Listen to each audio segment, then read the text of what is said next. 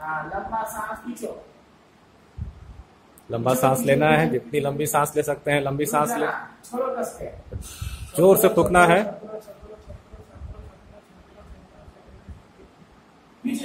एक बार वापस सांस लेना है। तो इस तरह से जाँच कंप्लीट हो गई। ग्राफ भी ठीक है।